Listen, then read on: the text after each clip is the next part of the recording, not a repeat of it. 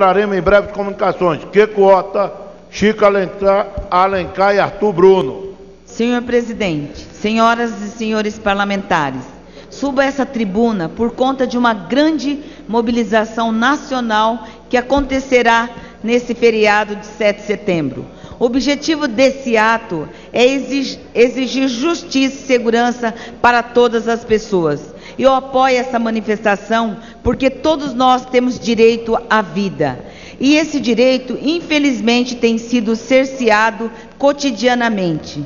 Para ficarmos somente em um número, mais de 100 mil brasileiros são assassinados a cada ano. Até quando vamos tolerar essa situação? Chega!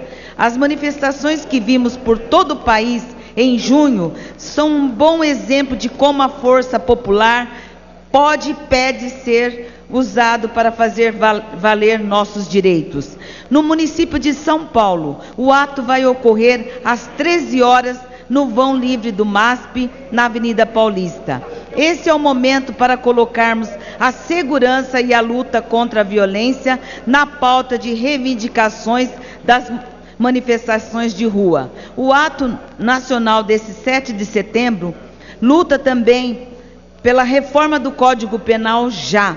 A manifestação quer também uma nova postura da justiça que não pode mais ser tão morosa nem omissa. Minhas senhoras e meus senhores, o convite está feito. Dia 7 de setembro, vamos sair às ruas por justiça, segurança e contra a violência. Muito obrigada.